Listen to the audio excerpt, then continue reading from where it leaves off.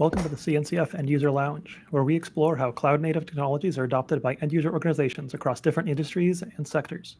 CNCF end user community is formed of more than 155 vendor neutral companies that use open source software to deliver their products. I'm Dave Zolotusky, a principal engineer at Spotify, and today with me I have Rajan and Dave from Fidelity Investment as our guests. In these live streams, we bring end user members to showcase how their organizations navigate the cloud native ecosystem to build and distribute their services and products. Join us every fourth Thursday at 9 a.m. Pacific time. This is an official live stream of the CNCF, and as such is subject to the CNCF Code of Conduct. Please don't add anything to the chat or questions that would be in violation of the Code of Conduct. Basically, please be respectful of all of your fellow participants and presenters. If you have any questions for us, we'll be monitoring them throughout the stream. Make sure to ask your questions in the live chat. This week, we have Rajan and Dave here to talk to us about Fidelity Investments. Before we get into the conversation, Raj and Dave, could you briefly introduce yourself? Could you briefly introduce yourselves, please? Yeah, sure. Uh, I'll go first. Uh, my name is Raj Rajan Puripati. Uh, people call me Rajan. Uh, I'm part of an uh, organization uh, called ECC within Fidelity. within that, I'm part of the cloud platform team. I primarily work on the Kubernetes-based projects, and uh, the goal of our team is basically to uh, set up the next generation uh, application platform uh, for our users. So uh, to, to put it in like right words, uh, if let's say a developer within Fidelity wants to you know do something to achieve a particular business uh, objective, we wanted to make it uh, as simple and as easy as possible for for the developer. So uh, that that's me. Um, very happy to represent the cloud platform team. Hi, my name is Dave Botello. Um, I've I'm in charge of the uh, private platform squad within Fidelity, um, where we're primarily focused on uh, building out Kubernetes platforms to run our container workloads on premise. Um, we have probably around 40 clusters, um, production clusters on premise of Kubernetes running at one time, supporting uh, a variety of workloads uh, with close to about 10,000 containers. Cool. That, that sounds like a lot. Um, before diving into the Kubernetes part, yeah, I'm sure it feels like a lot sometimes. Um, before diving deeper into the Kubernetes part, I'm curious to can you tell us a little more just about the infra- infrastructure setup at Fidelity uh, and what prompted you to start adopting uh, cloud native tools and Kubernetes? Uh, yeah, I can I can start with that. So basically, we um, we have a mix of uh, on-prem and the cloud. Um, we are into multiple uh, cloud providers as well. Uh, so basically, just just to give an idea, uh, instead of uh, just setting up clusters and then opening it up for the users, uh, our goal basically was to uh, come up with a platform uh, which is more fidelity specific uh, in the sense that we want all the uh, the best features available from the CNCF technologies. We want that to be available for the users, but at the same time, uh, we have some hard constraints from uh, from an enterprise standpoint. So, for example, today if, if I'm a developer within Fidelity, it's not very easy for you to just go and spin up your own Kubernetes cluster and then deploy an application and take it to production. Uh, you have to take a lot of security aspects, uh, you know, uh, that come into picture in terms of um, your your image that is using. That is that's that's very important in terms of the AMIs. Uh, there's a long list. So and and this particular list, for example, it it sort of keeps changing as well. So, for example, there could be a security event, uh, not just within Fidelity, but in, anywhere outside that could actually trigger like a you know a different policy or change to a policy. So uh, these constraints are something which, uh, as a developer, it's not so easy to keep up with. Um, so we so the goal that we set out was to actually build an application platform where we take all these constraints uh, into account and we sort of come up with this platform where as a developer you get to experience all the features uh, the best best features from the cncf technologies. At the same time you're guaranteed that you're running in a in a secure fidelity environment. Security is one aspect of it there, there are uh, there are other aspects like compliance and uh, a lot of other things which we'll get into the detail. Uh, but, but, that was the goal. As a developer uh, you, sh- you should it, it, we, we want to make it really really easy uh, so that you know you're able to you know quickly deliver you know the business objectives so we have uh, so Dave mentioned 40, that is more 40 clusters. So that's on the on-prem side. Uh, so total put together, we have like EKS clusters, AKS clusters uh, on, on AWS and Azure. So uh, total crosses like 300 plus now. So we have a dash, we have a dashboard. Uh, sometimes we look at it and it, it, jumps like from like one number to another. So I'm pretty sure we have crossed like 310 or something like that. Um, so uh, so that's that's that's a high level you know setup. Uh, Dave, if you want to add. Yeah, I mean, infrastructure from an on-prem perspective, um, you know, primarily we're we built out our platform around uh, vCenter, around vSphere infrastructure. Um, you know, for for our on-prem services, uh, there's also a proprietary uh, API platform which we built on-prem um, that sits in front of our v, vSphere infrastructure. Uh, and we we leverage that for a lot of the provisioning of our virtual server instances um, that we you know we lay the foundation upon for for building Kubernetes.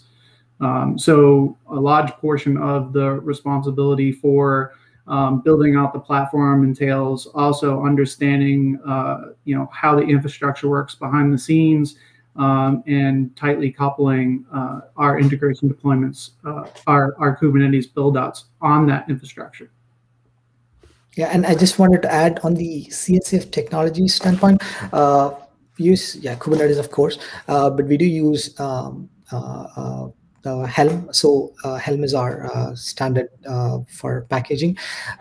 Most most of the time when i actually mention something like helm uh, so we always have this approach where we don't want to restrict users to the fullest extent so we we always have uh, this famous thing um, where it's batteries included but it's swappable right? So we do uh, uh, you as a user you have an option to switch to something else as well but like helm is one of the uh, uh, like most widely used uh, packaging. You know mechanism this platform we'll talk about more in detail but uh, it's it's kind of like a base platform on top of which you can actually run a lot of things uh, so uh, in in that perspective we have like envoy which is running on top of uh, eks clusters as well as a part of like an api gateway and stuff like that uh, so it's like a combination of all, all these technologies yep, that that sounds really good. Are there other CNCF projects aside from Kubernetes, Helm, and Envoy that you're excited about, or either using now or plan to use in the near future? Uh, we use, uh, yeah, we, we are constantly exploring uh, the, uh, so almost always we try our level best to not create something in-house. Uh, uh, we, we try to look at where the community is going forward and we want to stick to the community, right? Um, so almost always we, we sort of look at this landscape and make sure that, you know, we, we pick something from the landscape. Um, so in terms of the, for example, we use like some if not full, uh, some some components from the Flux, uh, you know, CD, for example, Helm operator, uh, which is part of Flux, uh, Helm controller now, and uh, now it's I think it's GitOps toolkit, right? So uh, we use that extensively. Uh, we we actually have built an open source project called Kraan uh, on top of it. So basically, we, we took these technologies from uh, CNCF, CNCF and uh, built something on top of it just to extend it a little bit to our use case, uh, and and we have sort of open source that as well. So GitOps toolkit is one example, and Kraan is the open source project that we have built on top of it uh, yeah, we use containerd, right? Uh, and and these are the major ones, and uh, we're we're always you know constantly exploring uh, you know uh, projects. And I think uh, correct me if I'm wrong, Dave. On the telemetry side as well, we are we are looking at you know Fluentbit and you know stuff like yeah, that. Yeah, we use Fluentbit for a lot of our log collection. Um, we also are pretty heavily invested in OPA. Um, so from a governance and compliance perspective, so we're using OPA to build policies and constraints around uh, you know how we govern uh, the platform itself. Um, so there's all different types of policies that we've implemented uh, to enforce um, specific pieces of metadata that are associated with namespaces. Um, we're looking to uh, make that migration very shortly over from the native PSP policies within Kubernetes to um, to OPA to do that policy enforcement. Um, so that's a, just a couple more examples of some of the CNCF projects that we're using. Yeah. No, that makes a lot of sense. And I think both of you alluded to or touched on uh, security for the environment. And I don't think you necessarily said it, but I assume there's a lot of regulation as well.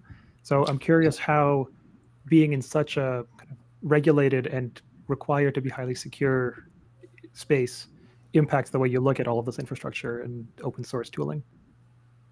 Uh, yeah, so we we have uh, very strict, uh, you know, uh, regulations. Uh, being part of the financial industry, that's that's actually important as well. Uh, so the the way we look at it is that it's very important to have, right? so we have built the platform in such a way that from a user standpoint, for example, today if you if you talk to any of the Fidelity developers, they don't look at if let's say they are let's say in AWS, they don't look at it as if uh, it's it's like EKS cluster or a Kubernetes cluster, but they look at it in terms of like a Fidelity platform. Uh, internally, we call it as like Fid, Fid EKS, Fid AKS, and stuff like that. So they always refer it to as like, hey, Fid AKS version one. So we have our own Fidelity platform versioning. So they usually say FID EKS 1.0, 2.0, and stuff like that. So coming to the security point, what we've done is we have sort of packaged uh, all these things as a part of the platform, right? Uh, so whenever we sort of make a release, uh, we what we do is like, for example, there are all these add-ons. I'll give you uh, I'll give you an example. The OPA, which uh, Dave was mentioning about, uh, that's something which is part of the Fidelity platform. So from a user, for the Fidelity user standpoint, he doesn't look at it as like one standalone add-on which is running in a cluster, but he uh, or she is basically exposed to the features that come comes out of uh, comes out of the add-ons. So the way we try to portray is basically we have this platform and you have all these features that are available for you. Forget, don't focus more on the uh, add-ons aspect of it because behind the scenes between FidEKS 1.0 and 2.0, we might actually switch the add-on to something else, or we can combine two add-ons. We will do a lot of things as a part of the platform. But from a user standpoint, they just look at it as a feature. So uh, from this perspective, if you look at it. Um, we sort of built in the security features uh, within the platform so that uh, let's say if we are going from one Kubernetes version to another, we sort of have this rigorous process where we we uh, we check every single add-on that is part of, part of the platform. It goes through a, like a, a, as a process to make sure between the versions, between the version of Kubernetes as well as between the version of add-ons, is there anything that has changed that uh, impacts our you know security guidelines? Right? It could be as simple as uh, a a particular add-on version not uh, image let's say a, a, base image that is part of this new add-on version maybe that is not compliant with uh, you know uh, some of the current security policies. This is one one good example right? So those are things that we will actually validate as a part of our uh, you know rigorous validation process before we release a platform version. So what happens is whenever the users get a notification that hey we have this FIDEKS 2.0 or FIDEKS 2.0 out uh, most of these things are actually already handled for them and we do make it part of our internal release notes so that they are aware of like what all things. Uh, sometimes you have to uh, take a slightly different approach where for example uh, let's say we want to we want a particular change it's not in compliance with one of our security policies. At the same time let's say we we, we are unable to get that change from the open source project uh, immediately right? So those are the cases where uh, we'll we'll sort of come up with certain workarounds it could be like for a very small period a small period of time we could actually do something where uh, we'll, we'll release the feature as a part of the platform version, but at the same time, we'll, we'll sort of do some workaround for a, for a, for a period of like two months or something like that until the actual change comes from the open source project. So these are the things that we do as a platform team. But from a user standpoint, uh, they're uh, they're unaware of these things. Right? From their standpoint, you have a feature that is like very stable and you know it is working. Um, yeah, and so what does that make versioning and upgrading look like from a user standpoint? Like you release uh, FidEKS N plus one, then right. Uh, so basically, what happens is uh, uh, so maybe a little bit on the Fidelity structure. Uh, we're not like one central team which manages all the clusters. So Fidelity is a large organization, uh, and we have like a lot of uh, sub organizations, right? Each each business unit itself is, is, is, a company by itself. It's like a lot of developers. They have their own dedicated uh, DevOps teams, SRE teams, and it's like that. So the way it works is um, a business unit will have a DevOps team, right, and operations team. So when we release it, uh, it's actually uh, them taking the platform version and then upgrading the clusters. It's not as if like we will, we we sort of give the tools in place. We sort of have like a, uh, UI where they can actually go and do it, but we don't do it for them. Uh, they have their own timelines, and it's it's up to them. So basically, it goes like this. So we release a FidEKS version. So we'll have a call. Uh, we have a release call. Uh, and then uh, the users sort of get to see hey, what all new features are coming in what are all the breaking changes and then they get to decide okay uh, when they can actually do it we do have a oh, we do have a time frame where we we support like n minus 3 n minus 4 version. It's not as if uh, a particular business unit cannot stick with a particular version for a long time. That's there. Uh, but at the same time uh, they sort of pick the version they actually upgrade the clusters. And if if there are any issues then that becomes like a platform issue. It's like an issue happening with platform 2.0 and then we sort of uh, you know jump in. And we have all these monitoring uh, you know dashboards and everything set in place. So we we would know upfront if uh, if if somebody is doing a cluster upgrade uh, platform upgrade and if something is going wrong we would we'd automatically you know jump in. So that, that's how it, it works. So from from uh, from a devops team member who's actually picking up the version they might we might have package 20 different add-ons within the platform uh, and each could be in its own version right? So they're not worried much about it from their standpoint they look at the entire entirety of it as like one single version uh, so even if one of the add-ons is not working let's say a particular feature is uh, you know not working so they just from their perspective it's basically the platform version is unstable so we just release like a, a, a, a patch uh, version for it, right? Uh, so that that's how it goes. That that's that's how it goes actually. Yeah. So uh, on on on the private cloud side, on prem. Um, so what Rajan was talking about was a lot of what how we manage things out in the public cloud, and large portion of that is self-service, right? So the cut the release, they provide the release out to the customer base, and then the customers are consuming it, and then they pretty much have a you know the ability to roll it out on their own schedule. Um, on-prem, we're a little bit more prescriptive over it. Um, we take a little bit more control over it, and it's probably more of a managed offering more than anything. Um, and so, what we've been trying to do over the last you know year is try to obviously keep up with the Kubernetes versions. That's that's a challenge, right? Um, so this past year, um, we had a target to try to do four upgrades in one year. And so we did four upgrades this this year. What by the end of this year, we'll have done four Kubernetes upgrades uh, with a target of one per quarter.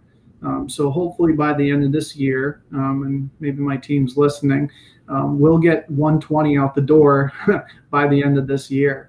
Um, and so that's a substantial amount of workload. That's just to keep up with the versions. That doesn't include, you know, all the work that we do around uh, like add-ons, things that you know Rajan was mentioning around you know, maintaining versions for you know all the different charts that we roll out to support the environment and provide other capabilities. Yeah, I, I, see a question from Mavok. Uh, uh, how do you keep up with the upgrading? Dave, if you're okay, I just wanted to touch upon that yeah, little bit uh, because that's something which I, I think uh, some of our learnings could be useful for the users. Uh, so there is this problem, right? Especially when you are uh, multi-cloud. So you imagine we are trying to have a platform which which actually provides certain features. So from a user standpoint, they're looking at this unified platform and that is supposed to run irrespective of where you are, whether you are an on-prem, whether you are an AWS and Azure. It's a very difficult thing to do, especially when, uh, if, for example, in, in, on the on-prem side, let's say we are using Rancher, uh, there, uh, the versions that Rancher would support will be slightly different from. I'm, I'm referring to the n minus uh, four, n minus three problem, where, uh, for example, one one vendor might say, "Hey, at my current is 120 and I uh, I follow the N minus 3 model. So at any point in time, 117 is the latest. At the same time, another vendor, uh, if you're on the cloud, AKS, AKS, for example, uh, there could be a situation where they are doing 119 and N minus 4. So their least supported version is 160, right? So how do you how do you do this? It's it's a very tricky problem. Uh, so that is where uh, there's no clean solution to it. Let, let me put it that way. So uh, that's where we constantly we uh, the platform leads we sort of meet and sometimes we sort of ask dave for example to sort of slow down a little bit where we sort of catch up and stuff like that but but one thing that we always put uh, in the front is the stability of the platform. Even if let's say uh, 120 i'm just taking number 120 has like some really important feature and then let's say one of the teams or some of the teams are uh, waiting for it right? If we think that you know we won't be able to provide this uniform experience uh, if we you know if let's say one of the platforms let's say if we say that azure wants to move forward right and then know do that where uh, you know aws lags behind. If that is going to be the situation we really evaluate uh, we, we, we try not to do that right? We try to wait. So uh, stability becomes more and more important than releasing new features. So sometimes we'll actually tell the application teams that hey this is the feature that you want but can you can you live without it for like another few months? Right? is it like absolutely important? Because that would directly mean that we can actually uh, uh the point here is the stability always comes first.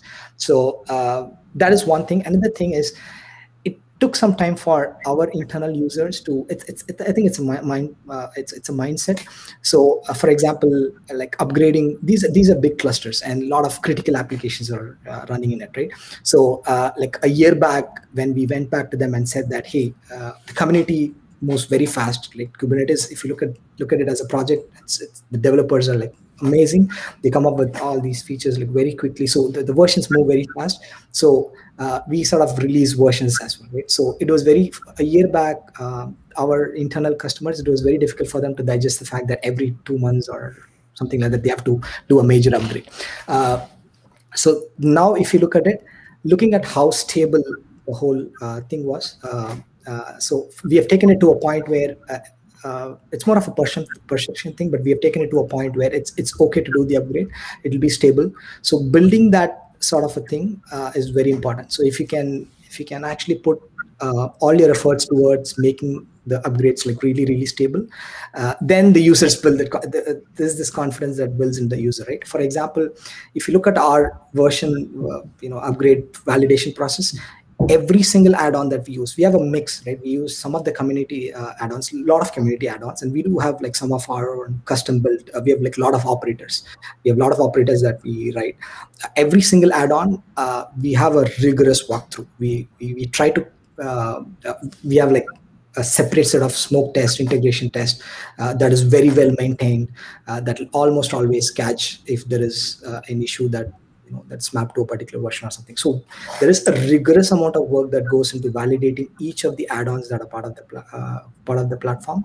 So we put in a lot of efforts towards uh, the stability aspect of it. So that will in turn you know increase the confidence for the users and then uh, now it's it's a new normal right? Now now it's a new normal. It's not as if like uh, you know uh, you know, like sometime back, upgrades will be like few times a year for major platforms, but that's not the case right now. So uh, building that confidence in your user is is, is very important. I, I, just wanted to add that. Yeah, no, that makes sense. And I think I have a question that's kind of building on that exact kind of stability and confidence from the user part. They're asking about how you make sure that uh, upgrades or updates to any of these components are safe to apply. And on top of that's, that, that's a good point. How do you limit the blast radius as you're finding that some might not be safe to apply? That that's a good point. So uh, one of the things that we ha- we do is uh, we sort of have a structure where I know it differs from company to company, but we have followed an approach where we have certain engineering clusters. We call it as test clusters, platform engineering clusters. So, for example, um, uh, I'll give an example. Let's say between a development uh, and a testing uh, and the production environment itself. Like there are usually there are differences in terms of policies and stuff like so we make sure that our testing clusters the platform engineering clusters are on all these spaces. So when we start out first of all uh, before even going to the platform engineering everything starts from your uh, uh, local right? Uh, we have a very strong set of uh, test cases that are very well maintained right? So it's it's uh, it's it's based out of Cucumber. It's a combination of Cucumber and all different sort of things. So we have a very strong set of integration tests, smoke tests that is very well maintained. I keep stressing on the very well, very well maintained because it's easy to come up with the first set, but sometimes uh, like over a period of time you can easily like uh, you know not maintain it very well. Then it loses its purpose. So we use we sort of rely on that, which which will actually catch a lot of issues. And even after that, there is a rigorous testing uh, on an environment basis. We sort of test it in like platform engineering dev, platform engineering production. Uh, these are efforts, but uh, for for for our scale, these are like you know massive. For, for, for supporting 300 clusters, we cannot afford to make mistakes. We do make mistakes here and there uh, but we do everything possible like these sort of things to do it so that is that is one thing right we have like strong integration test uh, the test suite that is like well maintained we test through every uh, you know environment type and after after that also um, uh, when we release it again this is something where we don't upgrade all the 300 clusters as i said before. Uh, it's more of the users picking it in picking picking up the release. Uh, so uh, we also try to see if we can actually work with some of uh, the business units uh, who are usually they're they're okay to pick up something first, right? So there we work with them very closely to see if there are any issues in the in the, the development clusters when they upgrade. They, they usually start with development clusters, so we sort of monitor that very closely. We have very strong uh, uh, you know, logging and telemetry, which sort of helps us that if somebody is picking up a release and putting it in their dev clusters, let's say that is the first of 300 clusters that is getting up uh, upgraded, like all our eyes are on this, right? Uh, so we we watch it very carefully and uh, if we see an issue then we sort of uh, quickly uh, you know revert to it. Sometimes we even you know it's rare but we can even like pull out the whole release and say that you know what like uh, it you know we'll, we'll come up with the patch fix and stuff like that. So no straightforward answer but uh, uh, one one good thing if one one one takeaway if you want i would say maintaining a strong set of you know integration test suite yeah, and I could add on to that a little bit. I mean, from from the on-prem perspective, um, like Rajan said, you know, we we definitely have spent a lot of time building out these test suites, um, unit testing, functional testing, um, and ensuring that we're not just doing this testing, you know, at the end of a release cycle, but we're doing these types of tests all the time. Um, and so some of the strategy behind it really is around building that end-to-end testing, something that we can run on a daily basis, something that is, uh, you know, bringing issues to our attention um, on a daily basis versus, you know, finding out right before the end of a release.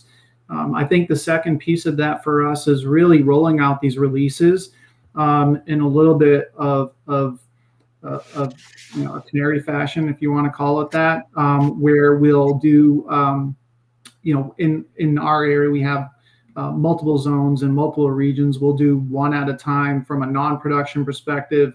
We give our business partners adequate time to cycle through that environment, ensure that they've you know maybe deployed workloads multiple times, uh, become comfortable with it, um, and then subsequent scheduling of of the upgrades uh, to our production clusters happening, you know, during tech windows, you know, during times when uh, there's the least chance for impact to our production running uh, workloads.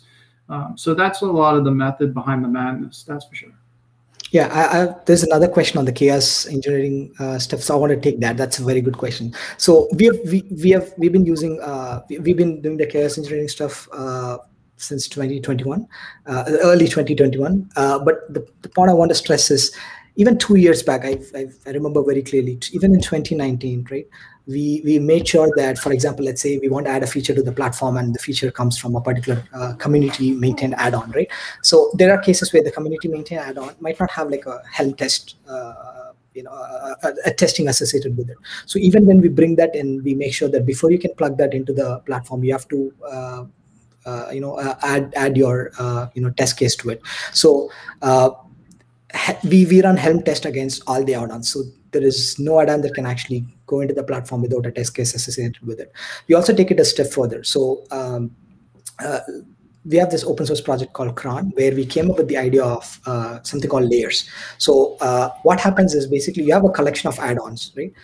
so look, look, at this case. So we have clusters running in Azure, um, AWS and then on-prem, right? There are certain add-ons that runs everywhere, but there are certain add-ons that runs only in the cloud, which is like AWS Azure, and there are certain add-ons which runs only in um, you know uh, uh, on-prem, for example. So we came up with the idea of uh, something called layers. So what we did is we packaged all these add-ons in terms of layers. And for example, we have the security layer that is shared across these platforms, and we have this cloud layer which is only on the EKS uh, EKS side. So the, the reason I, reason I bring up this layer concept is even in 20 i mean even even like two years back we were very clear that each add-on should have a test a test associated with it.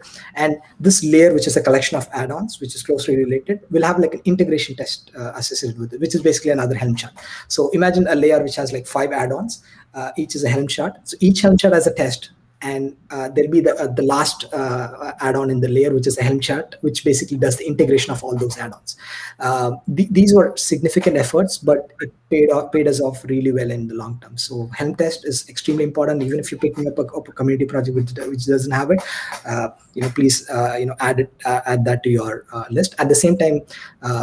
Uh, you know come up with like an integration test helm chart uh, you know uh, that can actually validate like how certain add-ons how, how they work together. I'll, I'll, give an example. For example as a part of our onboarding process right? So uh, we, we created an extension to namespace called namespace groups. Uh, so the users typically they, they're not exposed to namespace. They, they always start with something called namespace group.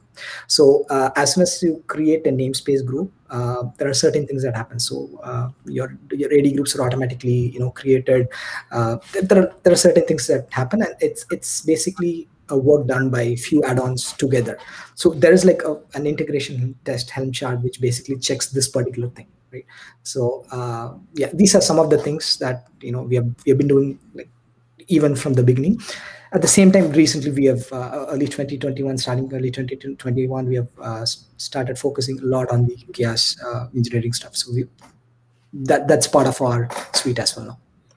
yeah and, and the chaos engineering aspect of it right? So you know we i think that we're dabbling in that right now. I have you know, I have definitely looked at, you know, um, integrating Chaos Mesh into some of our pipelines that would not only uh, handle, you know, building, you know, building these these clusters, um, running through unit tests, um, but also knocking things over, um, you know, and then ensuring that the platform continues to function as as we expect it to. Um, so um, we're still, from my perspective, we're still at the beginning phase of that. Yeah, that, that makes a lot of sense. And then for the specific tests, I think there there's kind of the question about chaos engineering, but also postmortems and things. Do you do things? Do you have ways of ensuring that times when it does go down or you do run into issues, that doesn't happen again? Like how you bring that back into your testing frameworks? Uh, yes, yes, that that that actually happens. So let, let, let, let me think about it. So basically, typically what happens is like when we um, uh, when we when we, we we sort of prioritize our it could be an obvious thing, but I think that's something I just want to stress upon because it really works well. Uh, we we prioritize stability over features.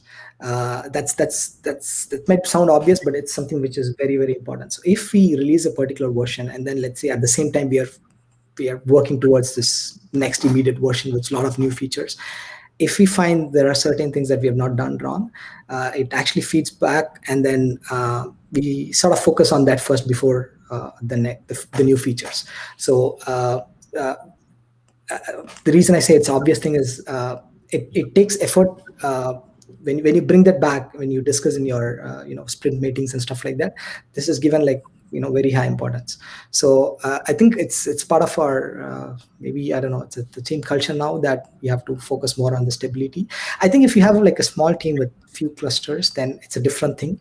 But especially when you are holding uh, all these like uh, you know 300 plus clusters for like you know thousands of developers and a big organization like fidelity uh, stability comes first. So we sort of immediately take that and then uh, you know put it back to our uh, you know sprint to make sure that the changes are done to the the, the test cases are enhanced and stuff like that. Um, yeah, I, I mean, added on to that, Rajan, I think that like it's pretty much ingrained into our Fidelity DNA that root cause analysis is the de facto method for us coming to conclusions of what needs to be fixed, right? So, um, I mean, my team is very well versed in the fact that you know when we find problems that we need to come to that root cause to understand how we can resolve that so it doesn't happen again so that our application uh, partners don't run into these types of problems down the road. Uh, so yeah we spend a lot of time uh, tracking um, trying to ensure that we are opening up stories and and and understanding uh, when we haven't figured things out you know that we get back to those and we drill into those things um, you know as a matter of fact we were talking about some of those things this morning before we lucky enough to join your uh, your your uh, broadcast here so yeah and and maybe this is an important question right so we, we sort of look at things in a slightly different way. So for example, let's say if something is happening on the customer side, right? We do have three different environment which is supposed to mimic uh, the customer environments, right? In terms of like security profiles and everything. But so if if there's something that they are catching, we are not catching, we sort of try to look at uh, why this difference came, right? Which means like some uh, there's a mismatch in terms of like how the environment is configured versus uh, you know us. So we even try to look at the process that the fundamental process that was actually broken so that this can actually occur so we sort of go and fix that so that not only this problem will not happen again but like many such diff, uh, types of problems will not you know uh, you know occur. So uh, like we sort of go down to that level where even if it's like uh, fidelity specific process which is like uh, you know very basic we we we try to you know push to make changes or automate that in such a way that you know uh, so we basically try to go analyze the, the base not just like on a high level why this happened uh, not from this one particular problems perspective but uh, to an extent where how do we uh, prevent not just this problem but similar types of problem uh, from occurring um, for example one example is it, it happened maybe a couple of years back but uh, the way our uh, IAM roles were managed in AWS. So we even like uh, took a big step and came up with our own framework based on stack sets and stuff like that. So we changed the whole process. Uh, it was it was a lot of effort to actually do that, um, relatively. Uh, but now when I look back, that is one of the important things things that we did. So we we changed the process. Uh, we had to get a lot of approvals because that was like already a hardened process. But we made we sort of got the approvals approvals and we changed it. And now after that, like we've not seen uh, not just that issue, but like any, that that space is like very stable. So you have to go to that level uh, if it if it makes sense. Yeah, no, that, that does make sense. Um, I guess one more potentially quick thing on testing before we move along. Um, you talked a lot about testing and it sounded to me like you were talking a lot about testing the Fidelity platform, like pieces that you've built. Um, I'm curious if your automation and your tests also catch potential issues in the tooling. Like if there's a change in Kubernetes that breaks something for you, does that get caught here, or is there a different process for catching things like that? No, it's it's baked in actually. So for example, even if we bring so the the, the integration test piece that I talked about, uh, so even if we bring a it, it, includes test cases for the community add-ons, not just our stuff. So uh, sometimes we actually go and uh, raise issues upfront, um, uh, and you know it benefits the you you know the community as well. So it it it actually uh, you know involves all the Kubernetes stuff as well as the community add-ons. Cool, that makes a lot of sense. Um, so then I just wanted to take a bit of a step back and hear a little more about the overall architecture. I mean, you've mentioned uh, multiple clouds and you've mentioned 300 clusters, but that's about as far as we know. So I'm just curious to kind of dig a little deeper. How big are these clusters? What sort of things are you running in them? Are they multi-tenant? Just all of the kind of typical things you think someone would ask about how your clusters are organized. Absolutely, absolutely. So I'll start, and then I think Dave, Dave you can also jump in. Uh, so uh, most of our clusters are in the medium size range. Medium size in the sense uh, I don't think it has more than 75 nodes or something like that. So it's not like thousands of nodes, not not, not for sure. At the same time, uh, it's not small as well. So most of them fall in that range. Uh, everything is multi-tenant. So that is one of the key things that uh, we decided back when we started in 2018 itself we uh, decided. So there are a lot of processes built along to support built around to support the multi-tenancy. So one of the examples was stuff that I was uh, mentioning earlier around extension of namespaces. So, uh, uh, for example, when, when a team onboards, uh, instead of just mapping it to a particular namespace, we sort of created uh, an entity around it. So uh, every team, when they actually onboard, they, they get like something called an NS group. And uh, so that is a Kubernetes aspect, but there is like Fidelity specific aspect in terms of like how, how does it get integrated with the, so for example, how does the AD groups get created, right? so you have to uh, you, you, cannot autom- automate half of it and not the other half. So uh, these are things that we did. So everything is multi-tenant. Uh, uh so in terms of in terms of the number of teams, it it it, it sort of varies. Uh, but like easily you could you could find like 50 to you know 75 teams working in a cluster. I'm talking about team of you know, let's say eight or something like that uh, and they cannot step over each other. There are uh, there are frame, frame, frameworks built around resource quotas, limit ranges, and stuff like that. For example, the NS group concept it sort of includes uh, a section for the resource quota. So as a as, as a cluster admin, I can actually say this team gets this NS group with certain resource quotas and stuff like that. Um, so which means the team themselves can actually go and add and delete namespaces uh, within that NS group, but it is actually bound to a particular uh, you know uh, set of constraints. So uh, it is it is multi-tenant. So most of them follow typical approach of having a cluster admin, and uh, usually there is less dependency on the cluster admin. What I mean by that is you go to him for the initial stuff, where he sort of onboards you and sets the constraint. After that, we try our level best not to create a process where you have to go to the cluster admin again and again, right? So, um, so mostly they are self, uh, you know, uh, independent. Uh, we, we do have pipeline set up, but uh, pipeline is something which, uh, you know, sometimes it can become opinionated, so they can actually bring their own pipelines. So most of them use uh, their own pipelines, deployment pipelines, and stuff like that. Um, so that's the that that's on the cloud side. Dave, If you want to add on yeah, from the on-prem side of things, um, again, you know, we've adopted or or prescribed to the notion of smaller clusters. You know, Rajan mentioned medium-sized clusters.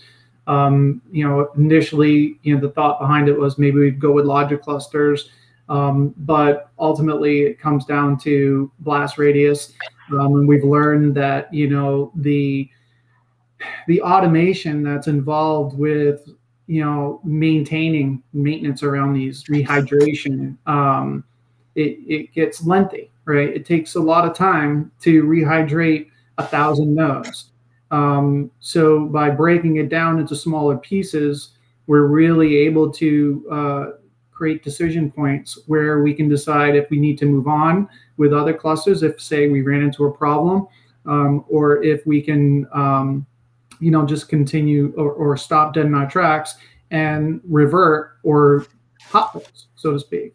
Um, so, you know, the smaller clusters, multi-tenant, mostly business aligned. Um, so a lot of our clusters are specifically business unit aligned um, so that it creates that separation between our business partners. Uh, and then within those clusters, they're, they're definitely multi-tenanted where um, all the different development groups are working within that cluster, separated through you know namespaces. Um, and in non-production, um, we see a lot of those namespaces uh, delineated by their various development cycles, right? So you know, development, sit, bit, UAT, and and for the most part, those non-production clusters tend to be on average um, at least two times larger than our production clusters, just based on the number of workloads and the various environments for them to cycle through uh, application development before they get to production. From an architectural perspective um, on-prem, I mentioned earlier that we're predominantly on vSphere. Um, and on top of that, we front front all of our clusters with Avi load balancing services.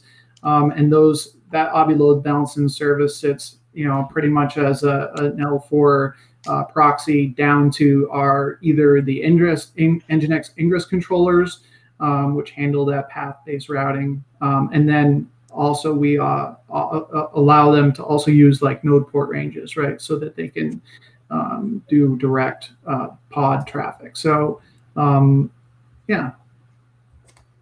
Cool. So that spurred a few questions. Um, yeah. Sorry, go. The, the big thing here is just around uh, monitoring and observability of your clusters. Like, how do, what tools do you use? How do you kind of collect metrics, logs, traces, all of the normal observability things, and how do you monitor the health of of the workers? Yeah, uh, yeah, we'll, we'll talk about it. Uh, I think there's one question on the ownership of the cluster. So, uh, so basically, as I said, um, the business unit or, or, our internal uh, clients, right? So basically, we sort of provide this platform uh, and, and certain, uh, it's basically framework with a collection of tools to manage it. The ownership of the cluster is actually with uh, the business units. Uh, so the platform ha def has defined its own set of rules. So there's something called the global admin, platform admin, and stuff like that. So business unit, they will have like a you know DevOps SRE team. So they'll actually be the the the, the cluster admins. So we do have uh, you know, uh, uh, uh, like overall access, but uh, they are the actual cluster admins. So in terms of upgrades, if there are, for example, let's say if uh, you're having issues with the resource quota and stuff like that, so that's how that's where the actually the users actually go to. So that is the ownership of the cluster, and and basically the ownership is sort of divided in, in this way when we, whenever I say platform, end of day, it's a collection of namespaces. Uh, it's it's more than that from a from a Kubernetes standpoint. It's a collection of namespaces. So if you open up a, a, a fidelity you know cluster you have all these set of uh, management namespaces and system namespaces so anything with hyphen system is a system namespace like similar to kube system where all these critical add-ons runs and then we have a collection of management namespaces where all these uh, right from cluster autoscaler to ingress control all these things run those set of things put together as a platform uh, any issue happens there we are responsible for it so uh, the cluster admin like doesn't even have to look into it. They like it straight away comes to it comes to us because it's a platform issue. Your platform is unstable. Um, and anything other than that let's say if uh, there's an issue with a particular resource quota limit range within a user namespace uh, and that's where maybe the cluster admin will will come into picture. Other than that like we have the na- we have another role called namespace admin. So uh, if if i'm the owner of the namespace group right uh, i have a collection of namespaces i'll have admin access to that namespace which means like i can i can do whatever i want uh, you know within that uh, uh, for example, let's say I'm, I'm trying to install, let's say, uh, some sort of a CRD based uh, operator, right? So there is like a, a, a, particular automated process where you can actually go and submit where a particular add-on within the platform will sort of create the, the custom resource definition for you. From then on, you're, you're you're on your own. So that's how we have sort of uh, done it. So uh, coming back to the monitoring strategy, we basically have uh, it, it's actually a mix, mix, but we have a combination of Datadog, uh, you know, Splunk, and like you know stuff like that. So we have uh, a, a, collection of very good collection of pre-built, uh, you know, dashboards. So at any point in time when you have 300 clusters, right? So look at it this way: each cluster uh, each cluster has this collection of namespace, which I said is a platform. So within these 300 clusters, if the platform is unstable on any of these clusters, we'll, we'll get to know. So, uh, so that, that's how we have actually set it up. So from our standpoint, we just look at a particular platform version. When we release platform version 1.0, uh, we just we, we, we know what all clusters are upgraded, what all clusters are not upgraded. But any point, we, we would get to know if platform 1.0 has issues in any any of the clusters. So we use Datadog uh, in combination with Splunk, and we have all these pre-built uh, dash, uh, dashboards. Um, uh, uh, so yeah, uh, and we, we use like metrics heavily, metrics logs.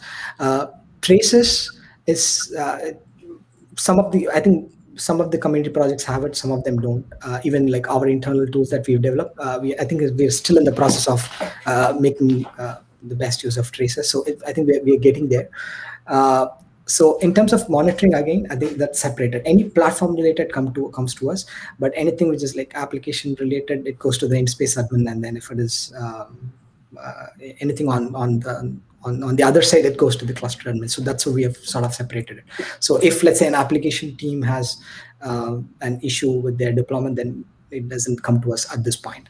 Uh, I just wanted to touch upon a little bit on this on something which you are actually working uh, just just to uh, you know maybe it's used for the users. Maybe they can actually think along these lines. Uh, let's take this problem where you have these deployment pipelines right so at this point if a deployment is having an issue um, we, we have an sre team it comes to us sometimes but most of the time usually what happens is if I'm a developer, like mid-level developer with four or five years of experience, I usually go to the uh, team lead first, and then team lead will actually go to the business unit DevOps teams, right? So uh, what we are trying to do now is sort of as a part of the platform, right? We are trying to actually come up with another, uh, uh you know, sort of a system where uh, imagine this. This is the this is what we are trying. So you have a Jenkins pipeline, for example. Uh, imagine we give you a Jenkins plugin where anytime your Jenkins build fails, it prints out a link and you click, click on the link, it tells you what the problem is, right? So that is something what we are actually working towards. Uh, hopefully we'll actually open source it. We are trying to, you know, uh, build some machine learning models and then, uh, you know, do some, uh, some, some analysis or on top of it to actually come up with these things. The, the reason I mentioned that is now we are actually trying to uh, take it a step further in such a way that each developer who's actually the user of the platform, we, are trying to focus on the pain points they have uh, and then try to you know solve solve that. So I just want to touch upon that a little bit. But I think going back to the monitoring again, maybe Dave, uh, do you want to add something on it? Uh, sure. Yeah. Um, you know, one of the questions that was on the board was how do you monitor worker health? Um, so I mean, we do have some you know basic you know things for workers that just ensure that the virtual machine exists and it's responsive. Um, that's really just basic monitoring. But the monitoring itself really comes from Datadog, right? So the Datadog monitors that we've set up are specifically looking at the components within the clusters, right? So for instance, you know, if you kubelets down, well, then your your your node is not going to work, right? So from that perspective, the health of that node is inoperable, right? So it's it's not it's not functioning. So that's kind of how we prescribe to it. So a lot of the monitors we're writing that we've written are really around like those service component healths health health status. Um, from a logging perspective, like he he he mentioned real briefly, was you know we do use Splunk. Um, we have kind of a mixed bag of logging. Um, we use Datadog in some areas. We use Splunk. Uh, we and we also uh, have a team internally that has uh, built out some really interesting architecture around like an aggregation tier around Fluentd. Um, so basically, our Fluent Bit log collectors that pull the logs off of the nodes uh, will push those logs to uh, a Fluentd aggregation tier, uh, and that aggregation tier then pushes those again to Kafka topics, um, and then those Kafka topics are read by ELK, right? Um, and that's how we were able to kind of use Kafka as a, you know, almost like a traffic manager, right? Where do I send logs for these specific clusters? Because there are different requirements that come from business lines around where they want their logs to land. Um, so, um, yeah, I hope that answers some of those questions. Yeah, and I just wanted to add some something uh, to it. I, there was a question on the uh, how do you monitor the worker health. Uh, I think the agents, the Datadog Splunk agents that we have has these by default, but I think on top of that, we have deployed as a part of the platform, one of the add-ons, if I'm not wrong, is uh, the node problem detector add-on uh, from, I think it's part of the uh, Kubernetes project itself, node problem detector. So I think we are, we are sort of using that, that actually helps as well. Uh, but I just wanted to mention one problem uh, which we, which we have, right? So today, uh, look at it this way. So let's say there is an application deployment that failed, right? And it and if you look at the logs, it'll say Helm release timeout. And if you if you run kubectl uh, get pods, it'll say pods pending. Then you'll figure out why the pods are pending. Then you'll see your nodes are unstable. Then you'll figure out like why the nodes are unstable. It'll be something to do with cluster autoscaler or like something happening on the network side that is affecting the AWS autoscaling groups. There is like a chain of things. So uh, one of the pain points that the developers have today is uh, when something like this happens, uh, even with the current solutions, uh, if even if you set alerts, if you open the mailbox, you have like a flood of alerts. So uh, it's not as if like someone tells you that, hey, all these problems are happening, forget about it, just fix this one, right? This is what you need to focus on, and then everything else will, will happen uh, automatically. So this is a problem that uh, we, the project that I was uh, mentioning earlier, based on AI, AI, and machine learning and stuff like that, that this is something which we're trying to solve. When a deployment fails, when they click on the link, we want to tell that, hey, there is this network issue happening and your auto scaling group is having an issue someone is working on it don't worry about it. Rather than spending a list of commands which basically so that's sort of a, a correlation analysis. Uh, these are things that even even though we have a pretty sophisticated monitoring setup today these are problems that we still have. Uh, and sometimes like uh, let, us say there is like a network outage going on that is affecting a lot of things right? From a developer who's just looking at a jenkins pipeline to for him to get that information, it takes like hours. Sometimes he he raises a ticket. Uh, someone has gone for lunch. They come back. They look at it. They raise something in the Teams chat, and then somewhere they get to know that a network team is working on it. This correlation. Uh, but but if you look at it from the, the way we are platform team, right? But the way we look at it is they are users of our platform, and this is a platform uh, you know uh, experience. So we want to enhance that. So uh, we are sort of investing uh, along with the existing monitoring and stuff like that. We are sort of investing in, in our efforts around the area where how do we use the latest ML techniques to sort of make this better for them. Uh, and the question was, how do you, how does one differentiate between logging and tracing? So as I said, we uh, uh, most of the add-ons, I'm not sure if they they do uh, like a lot of tracing. Uh, at this point, most of the things, most of our monitoring starts with metrics, uh, and then from metrics we sort of try to correlate to logging. Uh, we, we have seen that whenever you have tracing, that is the best thing you have, right? You start with metrics, that's where you get the alerts, then you go to the trace, and then you get the logs. Uh, but uh, uh, yeah, at this point, everything starts with metrics, and then it sort of uh, you know goes to the logging. But some of the latest stuff that we are trying to do based on machine learning, it's actually reverse. So you sort of start with the logs, and it's it's you know it's, uh, interesting. It's for the future, but that's one thing we've been doing. And the question was around um, what is the component the master that actually reaches out to the Kubelet API. Uh, I didn't get get that. So basically, uh, in terms of the communication between the control plane and uh, the kubelet, um, uh, that sort of uh, differs from uh, uh, you know, for example, EKS is slightly different from you know you know a rancher. Um, how do you do inter-cluster networking? That's a very good question. honest, that is one of the that is one of the we still have that as a pain point. Let, let me yeah. tell you. Um, so it's it's not a problem that we have solved. We are working on it. Um, there are uh, you know uh, solutions that we are still looking at but i can say that's a problem that we have not solved uh, basically it's still we're still using you know external load balancing services to to handle inter-cluster traffic you know we we haven't come up with any type of uh, a solution to that like a service mesh or anything? Yeah nothing like a global trust, you know service mesh or anything like that. It still goes out comes through the uh, load balancer and then comes in. Yep. Yeah. So the, the, the envoy stuff that I mentioned, envoy stuff that I mentioned was um, so there are there are things that is getting built on top of our platform. Uh, uh, so so we have FidEKS, right? So we have all these. For example, uh, there's like an ML platform that we're trying to build on top of FidEKS. So similarly, there's like an API gateway that gets built, built on top of uh, our uh, our FidEKS. Uh, so the Fidelity platform that we've built over a period of now, like when I look back over the period of two years, whatever we have done, it's, it's now it's like a solid foundation where uh, like people uh, can actually build on top of it. So internal clients, one of the business can actually build uh, the layers concept that I talked about earlier. It's basically a collection of items. They can actually now contribute and say that, hey, I have this machine learning uh, you know set of uh, features available i'm packaging it as a, a, as a layer applying on top of your platform that becomes like your uh, you know uh, ml platform. At the same time it's an ml platform which with all the fidelity constraints you know uh, you know set to it. So um, the envoy stuff that i mentioned was around those lines where uh, there's like an api gateway that is actually getting built on top of our uh, platform and that is where uh, you know it is actually used.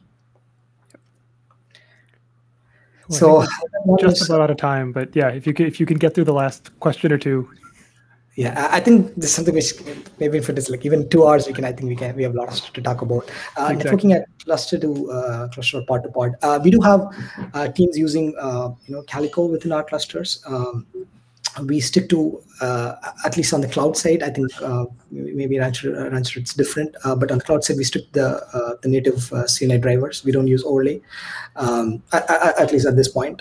Um, so uh, we have teams which this is something which we don't enforce, but uh, we have teams which uh, basically uses. Uh, uh, they can actually install. It's it's not part of the platform yet, but they can actually install Calico on top of our platform and then uh, do the network policy and stuff like that. yeah, we're using we're using Canal on prem with overlay networking. In the public cloud, they do not use overlay. Yeah, and as I said, cluster to cluster is still something which uh, goes out and then comes through the ingress. So uh, we don't have any you know, global service mesh or anything like that at this point. All right, that makes sense. I guess with that we can we can wrap up.